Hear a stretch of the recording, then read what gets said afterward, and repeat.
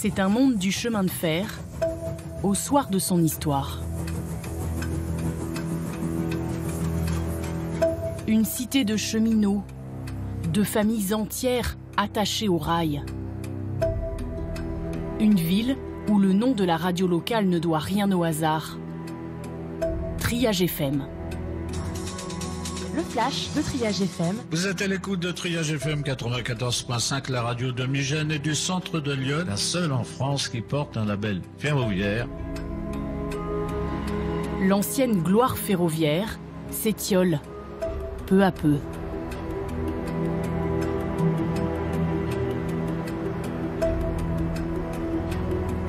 À La Roche-Migène, l'hôtel de la gare, le terminus, a fermé il y a dix ans. Mais 500 cheminots se battent encore pour sauver leur identité. L'actualité, la lutte syndicale de nos amis cheminots, dont de nombreux sont des Migénois ou habitent dans le Migénois. Une gare que David Bondou, le chef de dépôt, connaît par cœur, mais dont il parle désormais au passé. Ici, on avait des équipes de manœuvre, de conducteurs de manœuvre, des agents de manœuvre, et ils passaient leur, euh, leur nuit à, à trier, à, à, trier les trains ici. Donc le centre de tri postal, l'ex-centre de tri postal qui est maintenant qui n'est plus utilisé. En fait, vous parlez beaucoup au passé parce que l'activité a fortement diminué en fait sur cette gare. Ah oui, la, notamment l'activité marchandise a beaucoup diminué, oui. Elle est loin l'époque où 1500 cheminots charbonnaient ici, du temps de la vapeur, où la Roche-Migène était un centre névralgique sur l'axe Paris-Lyon-Méditerranée. Aujourd'hui, l'activité de fret a presque disparu. Le TGV ne passe plus. Alors il reste des vestiges, chers à David. Donc là, on est dans la cité cheminote, avec euh, donc, les, toutes les résidences, les maisons des, des cheminots. Hein. Tous les cheminots habitaient ici À, à l'origine, à la construction, oui. Le but, c'était que les employés soient à côté et à proximité du lieu de travail. Et donc moi, j'ai habité dans ce bâtiment-là, à droite. Donc tout ça, c'était des logements SNCF. Donc on est au cœur de la cité, euh, de la cité cheminote. Il y a encore des cheminots qui habitent dans ces maisons? Quelques-uns. Il y a notamment certains retraités qui habitent encore dedans, euh, mais de plus en plus, c'est des, non-cheminots qui habitent. Les maisons se vendent, euh, ne sont plus gérées par la SNCF. Hein. En 36 ans passés à la SNCF, il a vu sa gare changer progressivement et assister avec tristesse à la fermeture d'installations, comme ce poste d'aiguillage.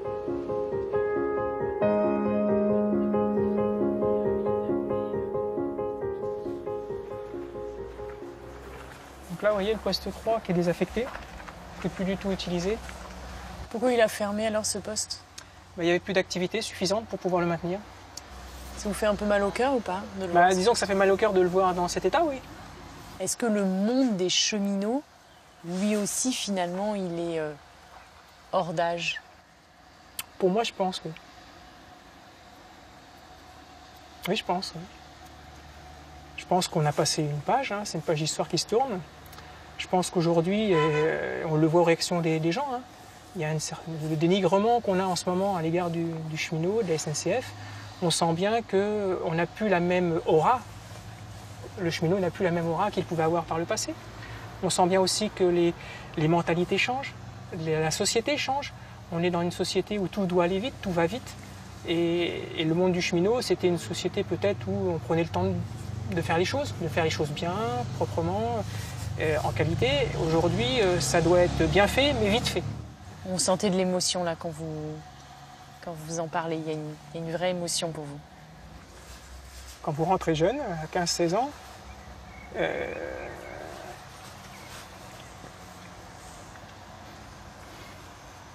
c'est une vie, une vie de cheminot.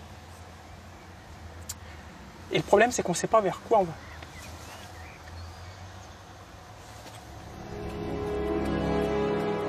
Ici, peut-être plus qu'ailleurs, la réforme du ferroviaire résonne comme la fin programmée d'un monde. celui des cheminots.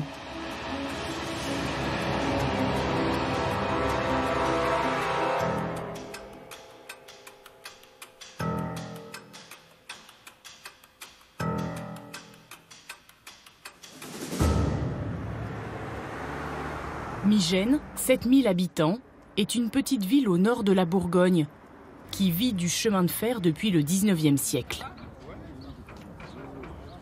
Le rail ici, c'est une histoire de famille, une histoire d'homme. Chez les Bondous, on travaille, on cause, on pense SNCF depuis quatre générations. Il y a donc David, le chef de dépôt, son frère Arnaud, conducteur de TGV, Quentin, son fils, conduit les TER, Ludovic, son beau-frère, fait aussi rouler les trains. Son père Henri était chef de traction.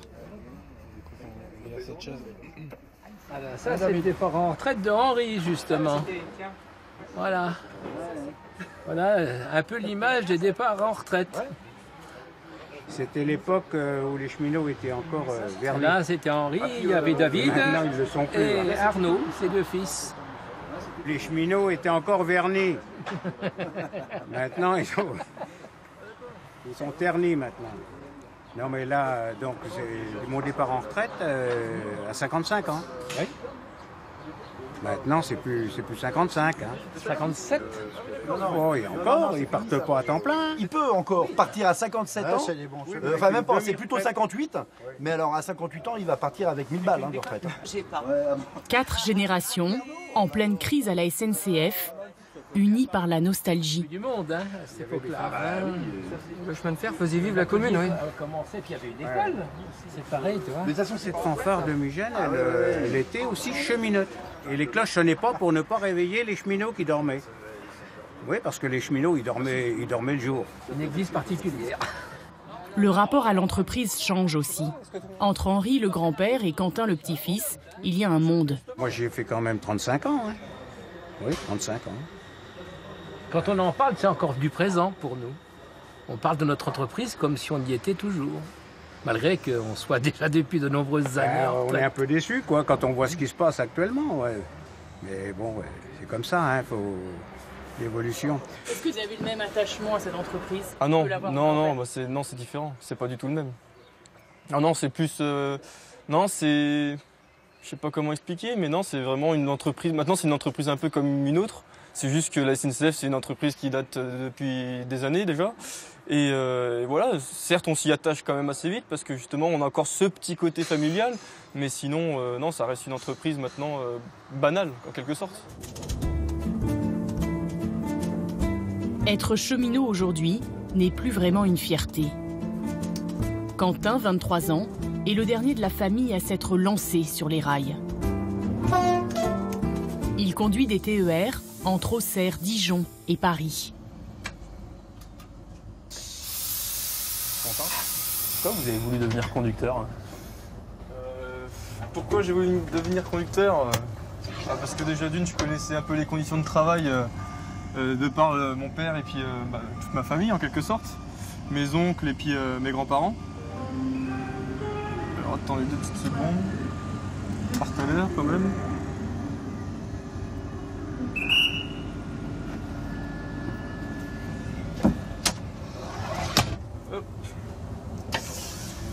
Et que bah, c'était un métier quand même euh, qui est assez plaisant euh, dans l'ensemble. hein. Être seul en cabine, conduire, euh, conduire un train, c'est quand même pas, pas rien.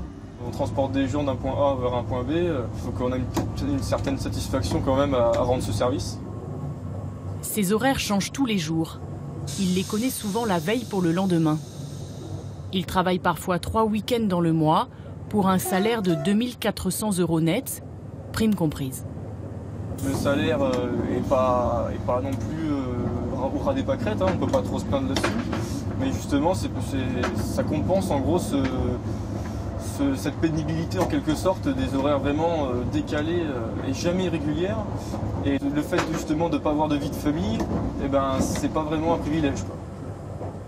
Embauché il y a trois ans, Quentin est déjà un peu frustré. Il estime que la qualité de service à la SNCF ne cesse de se dégrader. Le manque d'entretien des trains, le mauvais état des voies, les retards fréquents. Tout cela, il a du mal à l'accepter. Les usagers euh, se, plaignent parce que pour le coup, ils ont, raison de se plaindre. Euh, nous, on n'y peut rien, mais les, exécutants, on n'y peut rien. C'est vraiment au-dessus que ça se passe. Et, tant qu'il n'y aura rien de fait, euh, rien de changé au-dessus, nous, bah, on va continuer de subir et les usagers aussi. Il y a une crainte plus forte qui plane sur la gare. À la Roche-Migène. À la Roche-Migène, 80 TER circulent chaque jour sous la bannière SNCF. Mais peut-être plus pour longtemps. À partir de 2020, deux lignes pourraient être ouvertes à la concurrence dans la région. Un tournant vers le privé qui inquiète beaucoup le père de Quentin. David Bondou, le chef de dépôt.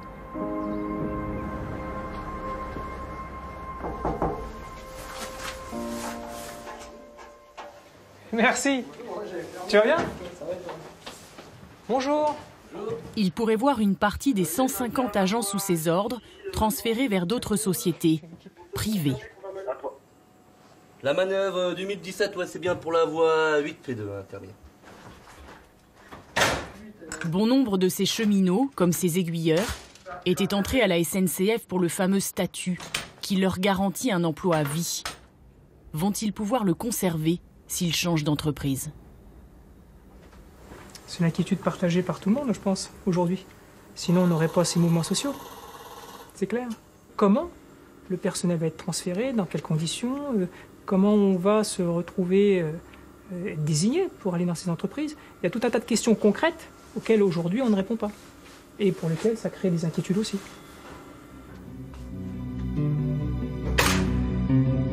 Même si la Roche-Migène n'est plus le fief d'antan, faire la grève ici, c'est sacré. Carnet de grève 2018 sur l'antenne de Triage FM, émission exceptionnelle aujourd'hui consacrée à la fonction de cheminot et aux problèmes euh, qui secouent la SNCF en ce moment. Ce 13 avril, c'est gare morte. Et chez les Bondous, les positions divergent. Ludovic le beau-frère est syndiqué et entame sa sixième journée de débrayage.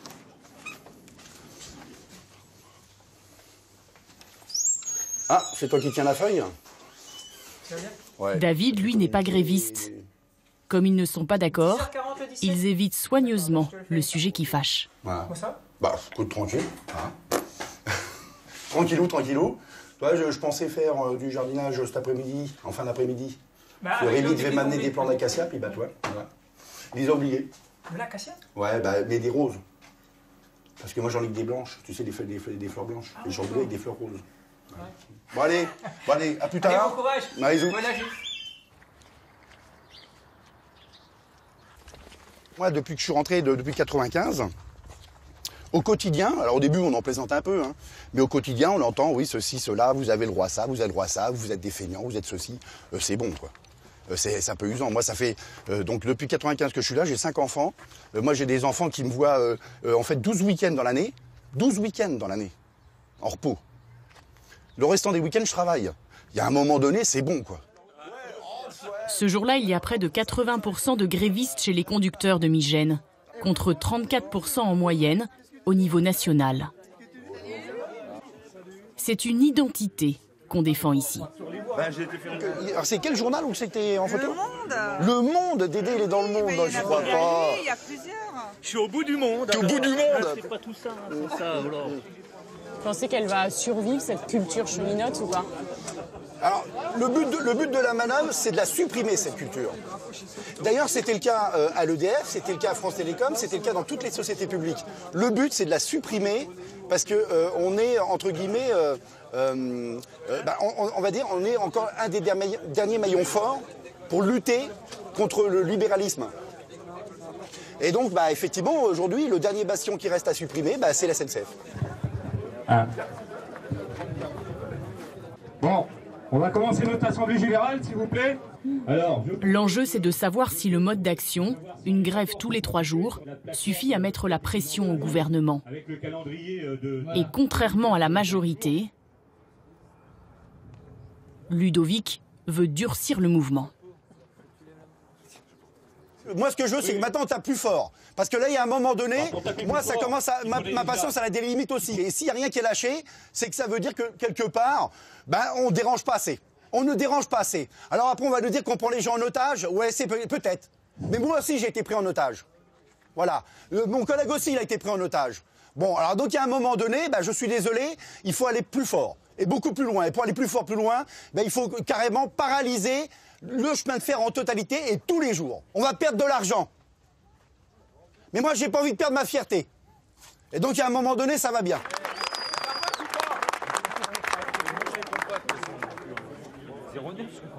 De l'autre côté des rails, dans le bureau de David, l'ambiance est tout autre. C'est téléconférence avec la direction régionale de la SNCF pour faire le point sur le nombre de grévistes. Oui, bonjour, David Bondouille, Pétraction de la Roche. Sur 34 devant travailler, ça nous fait du 79% de roulants en grève. Euh, sur les sédentaires, sur les sédentaires, euh, nous sommes un peu plus faibles. Il y a peut-être des sites où la situation va commencer à se tendre en ambiance avec peut-être des, des, des exactions, des choses dans ce goût-là. Donc, euh, pareil, merci de nous signaler comment vous sentez l'ambiance chez vous. David est cadre et assume son rôle. Il assume aussi un discours pas banal sur la grève. On a aussi une culture de la grève chez nous, quand même, il faut le reconnaître, euh, où on a déposé des préavis de grève inutiles, euh, souvent un peu, euh, même, je dirais, des, un peu des caprices, hein, si je peux m'exprimer ainsi, et qui font que les usagers entendent parler de la grève à la SNCF tous les jours presque. Euh, et donc c'est aussi peut-être euh, une des raisons pour lesquelles on comprend on peut comprendre l'attitude des, des usagers, des clients à notre égard. Vous vous dites qu'on a trop utilisé la grève finalement dans cette entreprise-là? Oui. Oui, et quand on se, se met en grève pour des mouvements ou des causes, je dirais, euh, justifiées ou, ou vraiment importantes, par exemple pour les retraites ou pour euh, la réforme du ferroviaire, ça perd de sa crédibilité quelque part. Mais c'est vrai que entre les grèves, les, préavis de grève déposés au niveau national, les préavis de grève déposés au niveau régional, les préavis de grève déposés au niveau local, les préavis de grève, euh, je pourrais compter plutôt les périodes où j'ai pas eu de préavis de grève. À La Roche-Migène, l'un des rares trains qui circulent ce jour-là est conduit par Quentin Bondou, le fils de David. Lui non plus ne fait pas grève. Le dernier de la famille appartient-il encore à la grande communauté des cheminots? D'un côté, moi je soutiens ces cheminots qui font grève parce que c'est vrai que ce statut-là, il est, il est quand même, il est important pour nous. C'est vrai que euh, a quand même pas mal d'avantages en quelque sorte. Mais le problème, c'est qu'on a, un président malheureusement, c'est qu'il a, voilà, il a des idées et puis bah, il va jusqu'au bout, euh, coûte que coûte. Euh, même si malheureusement, bah, tous les cheminots vont se mettre en grève aujourd'hui, rien ne va changer. Enfin, de, de mon point de vue, rien ne va changer. Quentin Bondou s'est déjà résigné.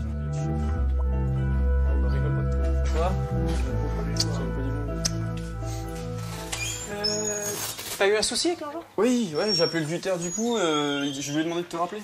Oui, il m'a rappelé, c'est pour ça. C'est bon Parce que T'as eu coup- cette clim sur la cabine? C'est ça. Pour lui, la tradition SNCF de la famille ne survivra pas longtemps. Vous pensez que cette dimension familiale dans cette entreprise, elle va disparaître? Ah oui, moi pour moi, il y aura plus grand monde, enfin du moins tout le côté familial va disparaître. Ça c'est malheureusement avec le, justement le, le secteur privé qui va arriver, euh, tout, tout va ouais, éclater. Pensez que vous faites, euh, vous êtes finalement le dernier, euh, le dernier maillon d'une chaîne de cheminots. Un des derniers maillons, oui. Ouais, ouais. Ah oui, parce que oui.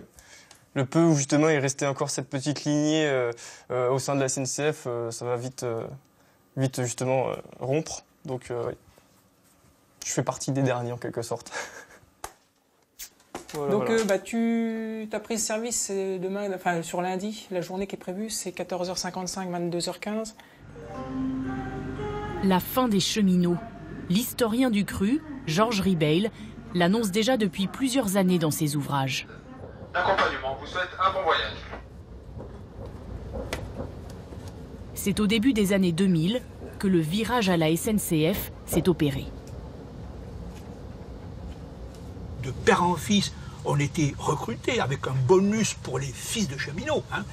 Et dorénavant, on va recruter, je dirais, euh, du tout venant, c'est-à-dire des gens qui n'ont plus rien à voir avec le monde du rail, y compris en bas comme en haut, au niveau des managers. Aujourd'hui, c'est presque une tare d'être fils de cheminot pour être recruté à la SNCF Oui, euh, absolument. À une certaine époque, j'allais dire à l'embauche que vous étiez tonton cheminot, vous aviez un bonus. Aujourd'hui, ce n'est pas apprécié parce qu'au fond, ça contribue à reproduire cette rigidité culturelle dont on, veut- dont on veut se passer. À La Roche-Migène, la grève continue. Messieurs, bonjour. Ludovic redoute que le mouvement s'essouffle. Ça va Yann Ça va. Salut, ça va Bon, est-ce que j'ai des news là-dedans Une petite nouvelle sympathique de ma direction Il voudrait tenir jusqu'au 28 juin, comme prévu. Si moi, mes grands-parents et mes parents s'étaient pas battus, j'aurais pas ça. Donc je vois pas pourquoi moi, par égoïsme, je ne ferais rien. Et, et- et- et demain, je vais laisser quoi à mes enfants, moi? David est à 7 ans de la retraite. Il espère finir sa carrière à la SNCF. Ah mais j'adore conduire. Euh, Faire le choix d'aller travailler pour une autre entreprise ferroviaire que la SNCF, c'est inconcevable. C'est difficilement concevable. Alors que j'y serais peut-être contraint hein, par le passé, dans, le, dans le futur, je sais pas. Mais ça sera avec, euh, ça sera pas évident. Quentin, lui, se prépare à devoir travailler un jour pour une société de transport privé. La SNCF, euh, c'était très bien avant, ça l'est toujours aujourd'hui, mais ça se dégrade euh, tellement vite que je ne peux pas vous dire si je vais y rester encore euh, des années et des années. hein. La famille Bondou et sa nostalgie. La Roche-Migène et son patrimoine ferroviaire. Le monde des cheminots tout entier. Et cette fois lancé vers une nouvelle page de l'histoire du chemin de fer. À grande vitesse. gare de la. Dommage que le train s'y arrête si peu.